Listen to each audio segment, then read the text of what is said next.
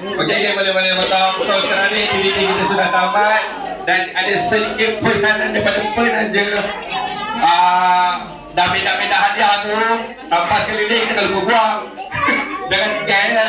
so lepas kita selesai 10 minit ni harap semua dapat bersihkan apa-apa yang